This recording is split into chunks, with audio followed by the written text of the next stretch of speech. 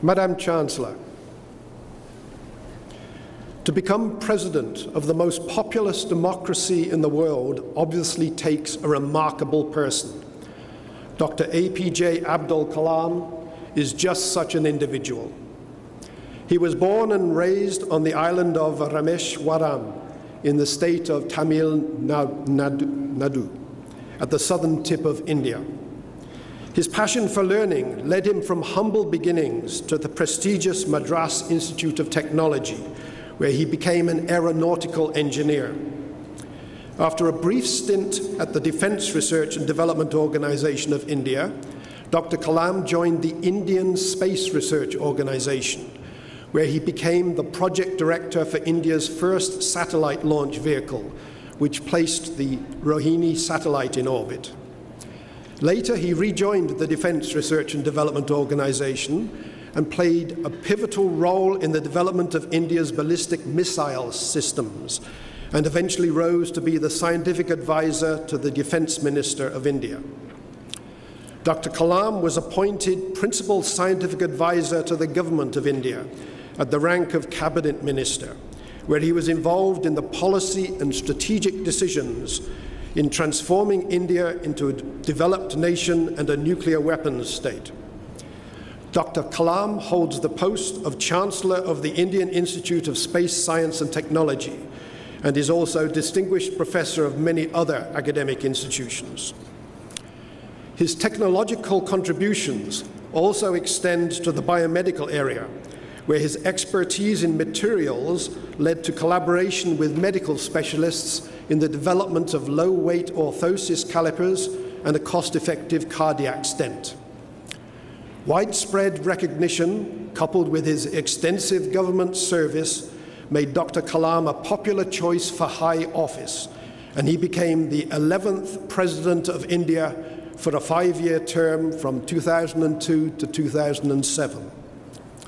His popularity has endured, and he is still affectionately known as the People's President for bridging the gap between high office and the common people. In addition to his autobiographical Wings of Fire, Dr. Kalam has written many books. The titles are revealing. India 2020, a vision for the new millennium. Ignited Minds, unleashing the power within India. Target 3 billion, Pura, innovative solution towards sustainable development. Envisioning an empowered nation, technology for societal transformation. There are more, but the implications should be obvious. Dr. Kalam is passionate about transforming society through technology, in particular by inspiring the youth of India to harness science and technology for human welfare. Madam Chancellor, inspiring the young and engaging with the community are key aspects of our university's mission. Accordingly, on behalf of the Senate of this university, I ask that you confer upon Dr. APJ Abdul Kalam the degree Doctor of Laws honoris causa.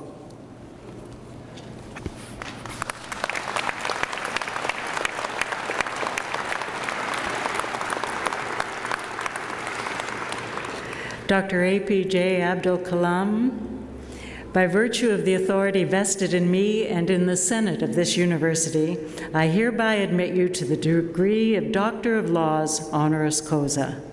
Dr. Kalam will be hooded by Dr. John Driver, Vice President Academic, and Dr. Kate Ross, Registrar.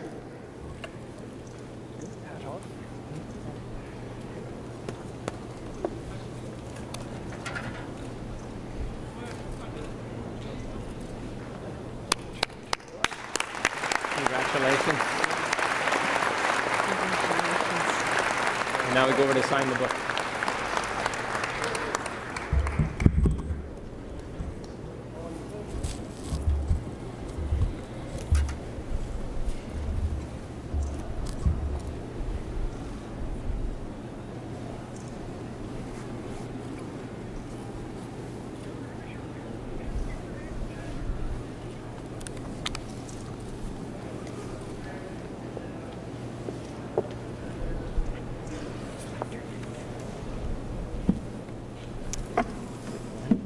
That his address? Okay.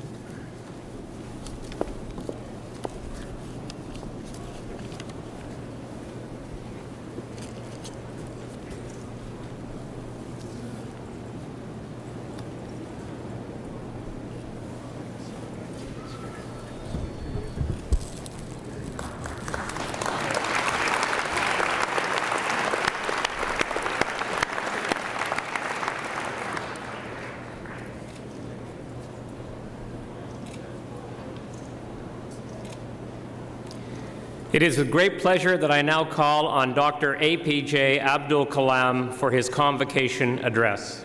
Dr. Kalam.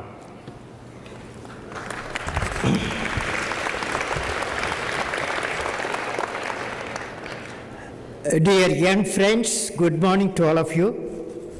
I would like to, on beautiful convocation hall, so I'm highly motivated, inspired to give address, my convocation address.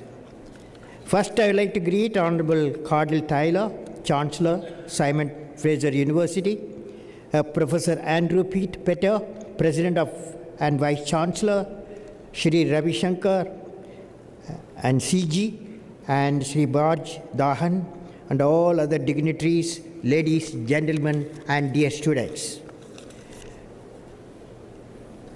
Uh, friends, I am indeed delighted uh, to be in the Simon Fraser University, which is ranked uh, first among the Canada's comprehensive universities uh, for the last three consecutive years.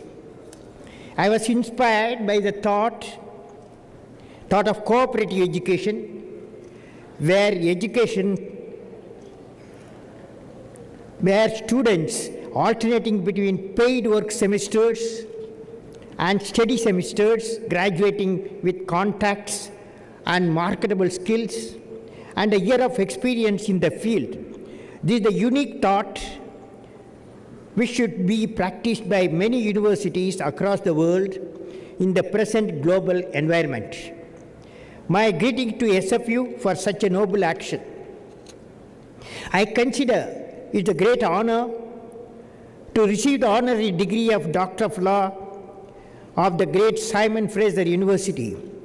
I have been thinking how the power of minds uh, can be brought together for identifying the benefit of the society now and in the future. The world today is integrally connected through four rapid connectivities.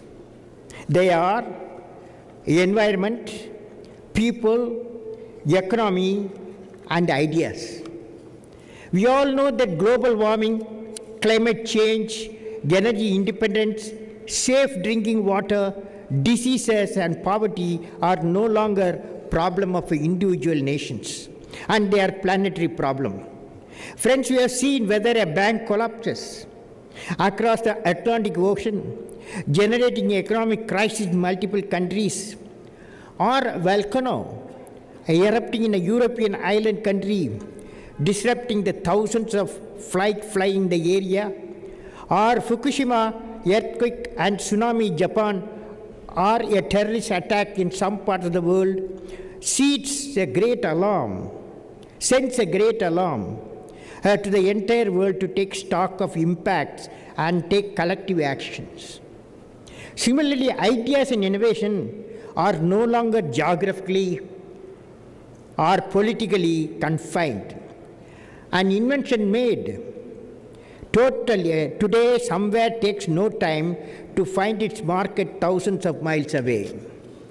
With this world scenario, I have been propagating a system, what is called World Knowledge Platform. World Knowledge Platform. The purpose of the World Knowledge Platform is to bring together the core competencies of multiple nations and their institutions to benefit nation with economic development coupled with peace and prosperity. India has gone through such experience of establishing world knowledge platform which I would like to share with you friends. One is Pan-African E-Network. The mission initiated by India, which benefits 53 African nations through providing telemedicine, teleeducation, e-governance services with an investment of about $125 million to meet the Millennium Development Goals of Africa.